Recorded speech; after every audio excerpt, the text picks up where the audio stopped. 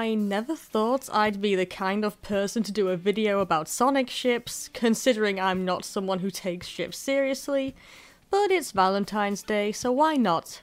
Let's get into this.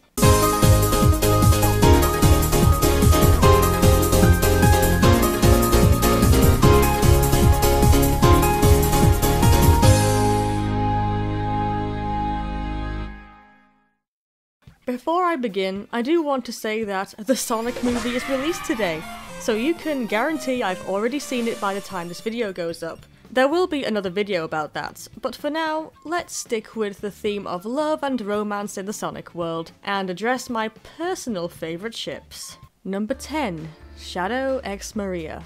Okay, so this one is probably the weirdest ship, which is why I'm putting it at number 10. This was a ship I was in love with back when I was an edgy little teenager because I just thought it was so sweet. Someone as pure and innocent as Maria being the one thing that Shadow really cared for was just so heartwarming to me. And seeing Shadow crying for her, or just expressing any overall softness because of her, really seemed so shippy. I've heard some people suggest that Shadow is too old for Maria because Maria is a child, but Shadow was created long after Maria was physically born, so technically Shadow wasn't older, he just seemed older. But I will admit, nowadays I do see them as sibling figures to each other. That's another reason I'm keeping the ship so high. Also, because I'm not too keen on human animal ships in the Sonic franchise. They don't bother me, they're just something I'm not really a fan of.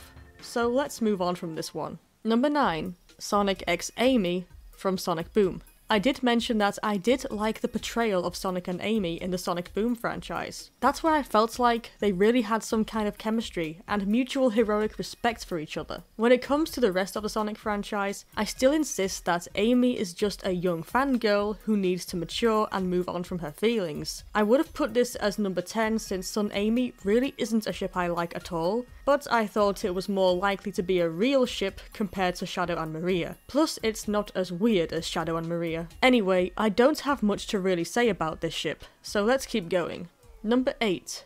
Tails X Cosmo. Another ship which I don't really care about, but I have very few ships that I care about anyway, so I just needed a few fillers. I like Tails and Cosmo as a ship because it just feels like a perfect example of young love when children are first starting to understand what crushes are. It's cute, but again, it's not really my thing. I think the only other reason I like it is because it gives Tails some character growth, which is why I put it a little further down the list. Overall though, I'm not massively in love with this ship. It's just kinda cute, and it does have some kind of canonical arc surrounding it. Number 7. Shadow X Rouge.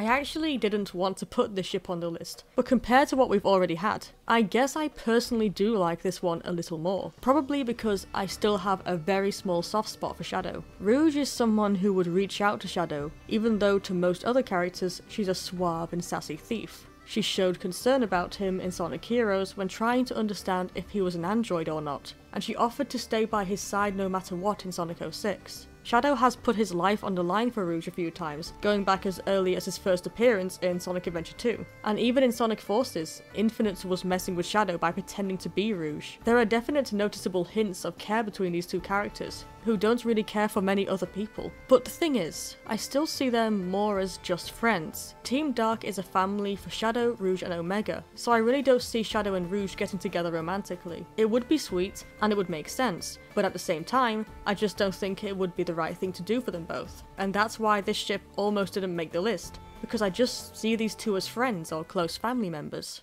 Number 6. Scourge x Fiona. We're finally entering comic book territory. I think most of my favourite ships do come from the comics, as you're about to see, but the reason I like Scourge and Fiona is because they're an actual couple. They're both bad, but they still look out for each other in their own evil ways. And their overall chemistry is good. Fiona's devotion to Scourge is definitely intriguing too, since it led her to go from good to bad. It led her to ditch her own universe entirely. I wouldn't say it was a healthy couple or anything, but I really just like these two a lot. Number 5. Sonic x Sally. I guess for similar reasons as Fiona and Scourge. I like this couple because it's an actual couple. They went through thick and thin together, in the old Sonic SatAM cartoons and in the Archie comics, and despite their hardships, they got through it all and stuck together. It was just a really nice build up to how the couple came to be. But I doubt this relationship could translate to the games or any modern Sonic media, and I don't really like the idea of Sonic having a girlfriend because he's supposed to be a symbol of teen rebelliousness. So despite how pleasant the ship is, it's a little outdated and out of character now, which is why I don't have it closer to the number one spot. Number 4.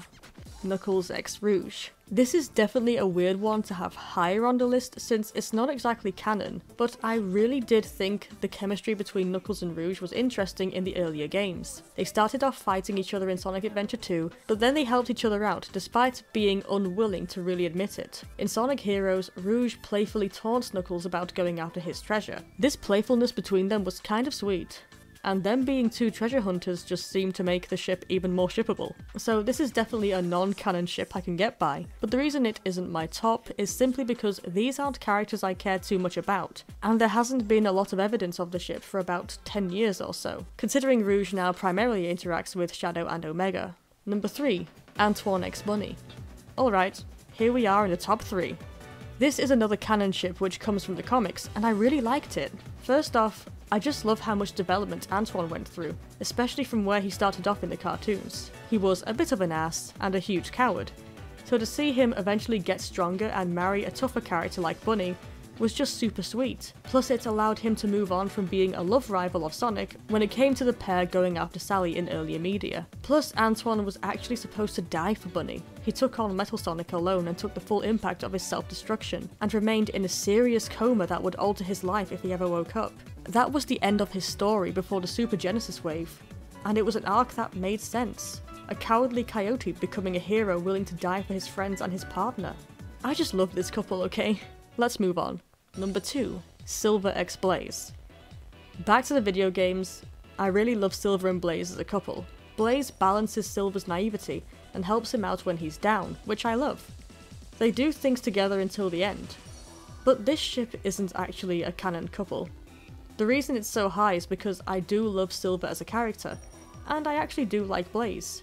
I think these two would be sweet together, and I'm glad we finally got more interaction between them in Team Sonic Racing.